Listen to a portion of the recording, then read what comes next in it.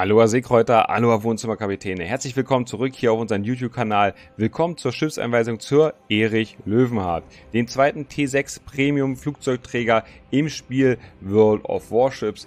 Und ja, der ist jetzt ganz frisch dazugekommen. Die deutsche Nation hat ihn bekommen. Gibt ein paar Besonderheiten, die wir jetzt beleuchten wollen. Und wir wollen zuerst mit der Geschichte anfangen. Es ist nur ein Entwurf, der quasi der Entwicklung der Graf Zeppelin vorausging. Man sieht auch schon ein paar Gemeinsamkeiten. Hier zum Beispiel die Platzierung der Sekundärgeschütze ist sehr, sehr ähnlich. Unterschiede gibt es hauptsächlich bei den Brückenaufbauten und eben auch bei der Flugabwehr. Ja, und dann ist das Schiff natürlich auf T6 und nicht wie unsere Graf Zeppelin, die wir ja schon im Spiel haben, auf der Stufe 8. Schauen wir uns die Panzerung an. Wir haben hier 19 mm, 21 auf dem Deck, 20 an der Seite. Das heißt, bei den 19 mm Overmatch ab 372 mm Kaliber. Beim Deck sind es 301 mm, wenn ich mich nicht ganz irre. Also, ich sag mal, alle Schlachtschiffe, die, selbst die, die auf T5 rumfahren, können euch einfach overmatchen mit ihren AP-Granaten. HE-Spammer werden auch ihre Freude haben. Ihr seid groß, ihr seid dünn gepanzert und da brauchen die meisten nicht mal IFAE, um euch vernünftig penetrieren zu können. Auch wenn es da gar nicht unbedingt um die Brände geht, weil ihr die ja relativ schnell löschen könnt mit eurem automatischen äh, Schadensbegrenzungsteam. Aber ja, der Pen der HE-Granaten ist auf jeden Fall safe. Dann geht's weiter. Böschungspanzerung hier 60 mm in, 80 mm an der Seite, 100 mm da, also 160 plus die 25 da. Also das sind schon ein paar Millimeter, die da zu überwinden sind. Vor allen Dingen, weil die Zitadelle auch nicht groß aus dem Wasser rausguckt. Also ihr seht relativ wenig. Ähm, das ist schon nicht so einfach, die Zitadelle zu treffen, gerade über größere Entfernung. Aber ja, wie gesagt, umso näher, dann umso gefährlicher. Ne? Also immer schön zurückhalten äh, und auf eure Verborgenheit achten. Gut, das war die Panzerung, das war die Geschichte. Jetzt ganz kurz, wir schicken euch jetzt direkt ins Gameplay. Ist ein T5, T6 äh, Gameplay. Ja, und ich habe es direkt aufgenommen, sodass ihr auch die Anflugkegel und die äh, Ellipsen sieht, äh, seht, wie die sich so verhalten. Äh, das war mir wichtig, dass ihr das gleich gut einschätzen könnt. Ich wünsche euch jetzt viel Spaß und nebenbei vergleichen wir dieses Schiff mit der Ark Royal, einem anderen T6 Premium Flugzeugträger und dann natürlich die Weser als deutsche Pendant aus dem Forschungsbaum, damit wir das so ein bisschen einsortieren. Platz 1 ist die beste Platzierung, Platz 3 dann dementsprechend die schlechtere. Bevor wir jetzt auf die Werte alle eingehen und das Ranking durchgehen, möchte ich euch ganz kurz die Grafiken erklären. Die Grafiken sind bereits geskillte Werte. Das heißt, da ist der Kapitän drin, da sind die Signale dabei und da sind die Verbesserungen eingebaut. Wenn ihr meinem Bild nachbaut, würdet ihr diese Werte erreichen. Zum Vergleich, zum Ranking haben wir natürlich ungeskillte Schiffe genommen, ungeskillte Module, also die sind nicht eingebaut und die Signale sind halt auch nicht mit dabei, sodass wir auf jeden Fall die Basiswerte haben, die wir hier miteinander vergleichen. Bei der Weser wichtiger Hinweis, gibt es natürlich den B-Rumpf und die B-Flugzeuge. Also die bessere Version, wenn man dazu sagen möchte. Bei den Trefferpunkten haben wir mit der Erich Löwenhardt 44.300 standardmäßig und 16% Torpedo-Schadensverringerung. Das bringt uns Platz 2 hinter der Ark Royal, die in beiden Werten leicht besser ist. Äh, da haben wir 200 Trefferpunkte mehr und eben 28% Torpedo-Schadensverringerung. Die Weser ist aber noch schlechter als die Löwenhardt. Die hat 41.000 Trefferpunkte und 10% Torpedo-Schadensverringerung. Bei der Sekundär, da setzt sich die Löwenhardt natürlich hier von unseren Konkurrenten ab. Wir haben hier eine gute Reichweite von 5,0 Kilometern und jede Menge Rohre. 5 x 205 mm und 8 x 250 mm sucht seinesgleichen auf der Stufe. Die Weser hat nur 105 mm Kanonen und da auch nur 5 x 2 und die Ark Royal 113 mm Kanonen unter 8 x 2, aber dann eine kürzere Reichweite von nur 4 Kilometern. Weiter geht's dann mit der Flak. Da belegen wir einen soliden Mittelfeldplatz, also äh, P2. Wir haben weniger kontinuierlichen Schaden, äh, schießen auch nur 5,2 Kilometer weit mit der Erich Löwenhardt und bei den Explosionen sind wir sogar stärker als die Ark Royal, aber aufgrund der geringen Distanz oder geringeren Distanz machen wir natürlich nicht ganz so schnell viel Schaden. Die Weser ist übrigens noch schlechter als die Löwenhardt in der Luftverteidigung. Weiter geht's dann mit der Manövrierbarkeit. Da sind wir bei der Höchstgeschwindigkeit auf der Pole Position, könnte man sozusagen. Ja, wir haben hier 35,8 Knoten standardmäßig zu Buche stehen. Ja, das sucht seinesgleichen auf der Stufe 6, also der schnellste Träger im Spiel. 1140 Meter beträgt der Wendekreis, das ist allerdings auch eine der größten im Spiel auf der Stufe 6. 12,7 Sekunden Ruderstellzeit ist ein Zehntel schneller als die Ark Royal. aber langsamer als das, was die Weser so mit sich bringt. Bei der Erkennbarkeit ähnliches Bild. Wir sind im Mittelfeld. 14 Kilometer geht Ark Royal auf, 13,1 die Löwenhardt und 12,1 die Weser. Und zur Luft ist das ja auch ein, das gleiche Bild. 11,8, 10,9 und 9,5. Wie gesagt, auch da Platz 2 für die Löwenhardt. Und nun kommen wir zu den Fliegern, die die Erich Löwenhardt hier dabei hat. Das ist ja das Essentielle, das, was ihr jedes Mal bedient, wenn er mit dem Schiff ins Gefecht startet. Wir haben drei verschiedene Typen, AP-Raketen, wir haben normale Torpedos dabei und wir haben HE-Bomben dabei. Das ist eben das Besondere hier bei dem Träger. Der erste deutsche Träger mit einer HE-Bombe. Und das ist schon, ja, was Cooles. Da gehen wir gleich drauf ein. Fangen wir oben an bei den Schlachtflugzeugen. Wir haben hier 1270 Trefferpunkte. Das ist der zweitmeiste, also Platz 2. Die Ark Royal ist da besser. Die fliegt aber viel, viel langsamer als wir. Wir haben eine Reisegeschwindigkeit von 153 Knoten. Das ist auch drei Knoten schneller als die Weser zum Beispiel. Sichert uns da also schon mal Platz 1. Mit Motorboost sind wir bei 193 Knoten. Und wenn wir das alles skillen, dann seht ihr die Werte gerade eingeblendet, sind wir sogar bei 198 Knoten. Ja, wir starten mit sechs Flugzeugen. Mit zwei können wir davon angreifen. Jeder Flieger hat vier Raketen unter den Flügeln. Der Alpha Damage beträgt 2350. Der entfaltet sich aber nur, wenn ihr ja, mit der AP-Rakete richtig trefft, nämlich in der Zitadelle. Dazu müsst ihr mindestens 25 mm Panzerung penetrieren und dann löst der Zündfahrzeuger von 0,022 Sekunden aus. Und wenn da alles passt, dann gibt es den großen Schaden beim Gegner. Insgesamt habt ihr neun Flugzeuge an Deck und 72 Sekunden Flugzeugwartungszeit. Das heißt, ihr habt die wenigsten Flieger in der Luft, ihr habt die wenigsten Flieger an Deck und ihr habt die längste Flugzeugwartungszeit. Dafür habt ihr relativ viele Trefferpunkte, habt die höchste Geschwindigkeit und habt den höchsten AP Alpha Damage oder Raketen Alpha Schaden, den es halt auf der Stufe 6 in dem Fall gibt. Außerdem habt ihr dreimal Motorboost zur Verfügung und eben auch noch diese Patrouillenflugzeuge dreimal. Ja, also das ist in dem Fall noch was Besonderes, weil andere Nationen zum Beispiel nur zweimal Motorboost haben. Die Weser hat auch bei den Schlachtflugzeugen dreimal Motorboost. Das ist so, äh, um das mal im Hinterkopf zu behalten.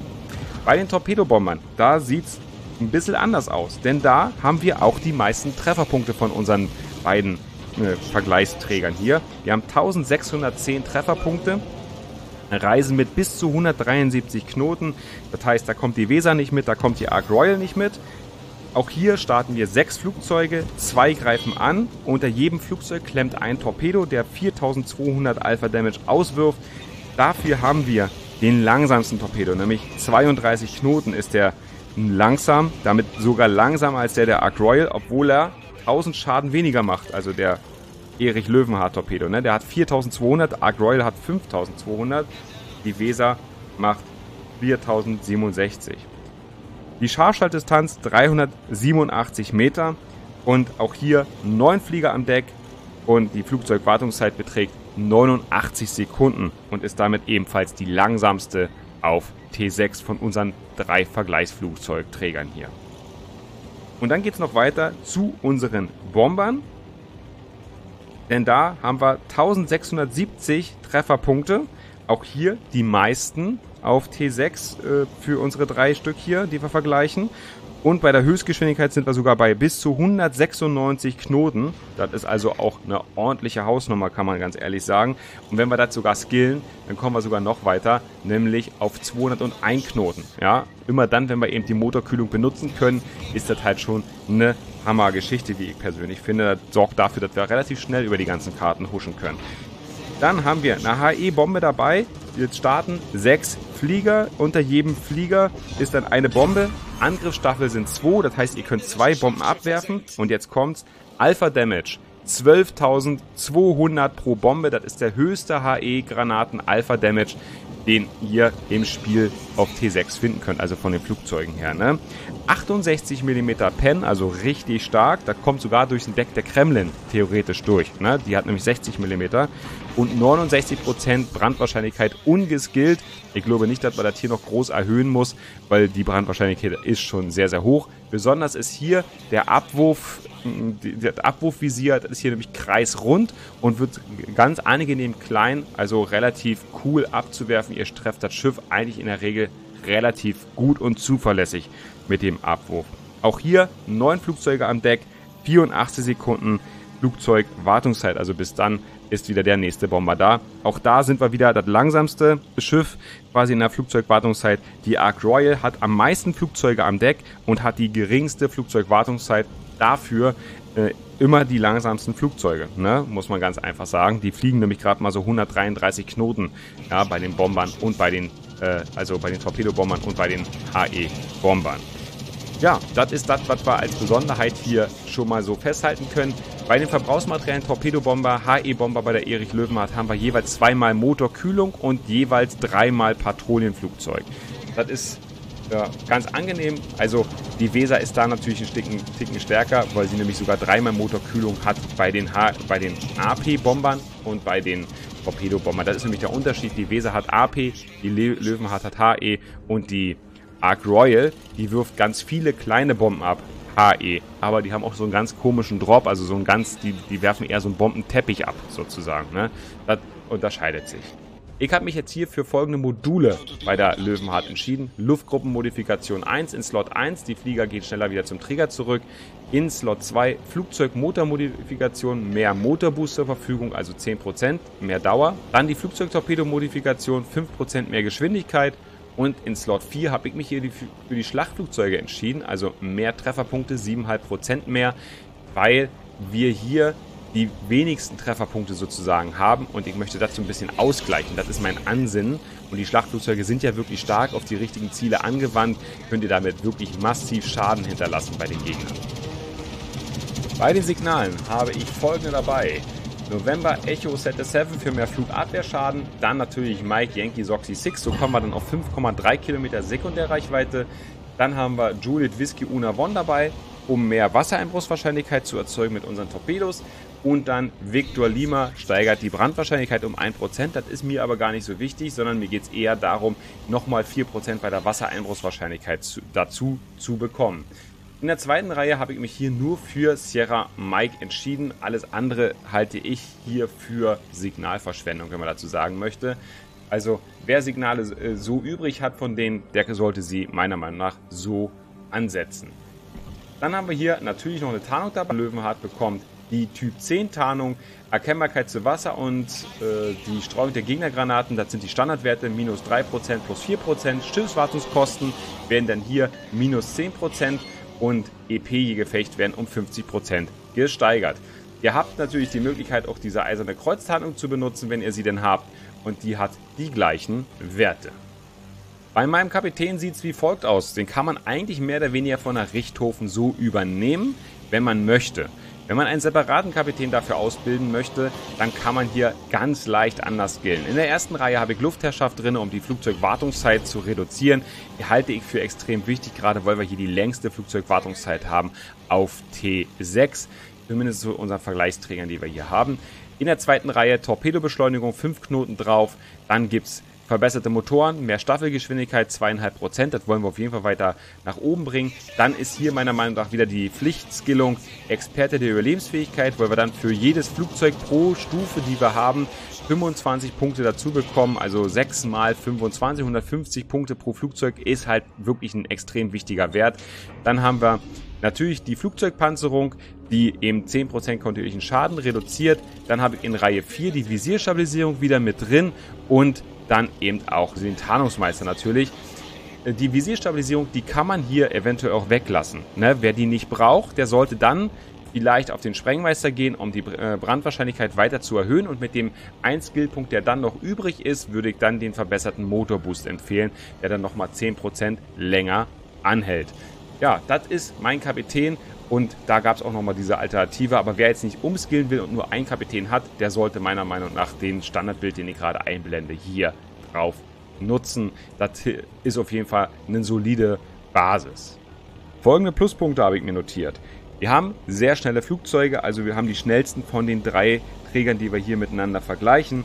Wir haben eine sehr gute HE-Bombe, super hohen Alpha-Damage, super hohe Brandwahrscheinlichkeit, starker Pen. Also da kann man auch gegen T8-Schiffe ordentlich was mit anfangen. Und ihr habt in der Regel immer einen Brand, wenn eure Bomben beide auf dem Schiff landen. Es gibt natürlich auch da mal RNG, ja, was da ein bisschen dafür sorgt, dass ihr vielleicht irgendwann mal auf ein Schiff trefft, was so richtig anti-Brand geskillt ist und die Zahlen gerade nicht für euch fliegen sozusagen, dann äh, kann es auch mal passieren, dass er aus dem Anflug ohne Brand rausgeht, aber es ist schon, es ist schon ganz zuverlässig, muss ich ganz ehrlich sagen. Dann haben wir natürlich einen sehr schnellen Träger, den schnellsten auf T6, das muss man einfach sagen. Und wir haben eine sehr schöne Zielvorrichtung, gerade für die HE-Bomben finde ich das eigentlich sehr, sehr sehr, sehr angenehm, ja. Auch wie sie sich dann, wie er sich dann verengt, der Kreis und so, ist eigentlich ganz cool zu steuern. Wir fliegen mit den Bombern, wie bei den anderen Deutschen, auch deutlich höher. Ja, das heißt, wir können eigentlich besser den Sprenggranaten, also den Bomben, ausweichen, die die gegnerischen Schiffe auf uns schießen. Also, das äh, ist eigentlich eine ganz angenehme Geschichte. Die AP-Flieger machen mir eine Menge Spaß. Durch die Zitadellenmöglichkeit, die man da hat, kann man wirklich ruckzuck ordentlich Eindruck beim Gegner hinterlassen. Und dann zu guter Letzt natürlich eine starke Sekundärbewaffnung, auch wenn die eher weniger häufig in Erscheinung treten wird. Dann gibt es natürlich auch wieder Kontrapunkte. Der größte Kontrapunkt ist sicherlich, wir haben sehr kleine Staffeln, also wir haben nur sechs Flugzeuge in der Luft und wir haben sehr lange Flugzeugwartungszeiten, also deutlich länger als bei der Ark Royal und äh, bei der Weser. Dazu kommt, dass wir relativ schlechte Flugabwehr auf unserem Träger haben. Ja, bewegen uns da so ein bisschen im Mittelfeld. Und wenn wir da jetzt sogar alle Träger mit zunehmen, sind wir halt auch wirklich eher am unteren Ende von der Flugabwehr. Ja, und wir haben dazu noch nicht nur kleine Staffeln und lange Flugzeugträger Wartungszeit, sondern eben auch wenige Flieger am Deck, nämlich nur neun. Ja, wir starten mit acht, also bleibt ein Träger an Deck stehen und dann arbeitet schon die Flugzeugwartungszeit für uns und die Träger und die Flugzeuge müssen wieder nachproduziert werden, sozusagen aus dem Rumpf raus aufs Deck geschoben werden. Das sind so die Punkte, die ich bei der Löwenhardt äh, anzuführen habe. Mein persönliches Fazit zur Erich Löwenhardt. Ich denke, äh, wer liebäugelt, diesen Träger zu holen, macht damit nichts verkehrt. Ja, man kann mit dem Träger echt eine Menge Spaß haben. Dadurch, dass man so gute HE-Bomben hat und relativ schnelle Flugzeuge, dass man äh, über die Karte kommt und allein fahrende Schiffe sehr gut fokussieren kann, ist das eigentlich eine richtig schöne Geschichte. Wer natürlich kein CV mag oder allgemein das deutsche Gameplay bei den Trägern nicht so mag, immer, der hat vielleicht mit den HE-Bomben ein bisschen eine andere Alternative, aber die AP-Raketen, damit muss man halt trotzdem umgehen. Ihr werdet euch schwer tun, mit diesem Träger Zerstörer anzugreifen, das ist ganz klar. Ja, die Torpedos sind sehr, langsam. Ihr habt AP-Raketen dabei, das heißt, ihr macht relativ viele Overpens auf Zerstörern. Das sind wieder so Sachen, die vielleicht äh, dagegen sprechen. Allgemein seid ihr halt in, im Zerstörer bekämpfen darauf angewiesen, dass euer Team mit euch arbeitet. Ja, wenn das nicht passiert, dann ja, könnt ihr alleine gegen, Flug, äh, gegen andere Zerstörer nicht so viel machen. Das war's schon von unserer Schiffseinweisung zur Erich Löwenhardt. Ich hoffe, wir konnten euch mit diesem Video so ein paar Anhaltspunkte bieten, sodass ihr so ein bisschen einsortieren könnt, ob ihr euch das Schiff holen wollt oder eben nicht. Wenn dem so ist, würde ich mich sehr freuen, wenn ihr einen Daumen nach oben da lasst, den Kanal abonniert und euren Freunden den Kanal weiterempfehlt. Unsere Videos findet ihr bei YouTube, unsere Livestreams findet ihr bei Twitch, geschriebene Artikel bei Facebook und alles zusammen auf unserem Discord-Kanal. Alles da findet ihr in der Beschreibung unter diesem Video. Ja, und dann hören wir uns ne, im nächsten Video, im nächsten Livestream. Also haut rein, euer Secrets Team, euer Andi. Ciao, ciao.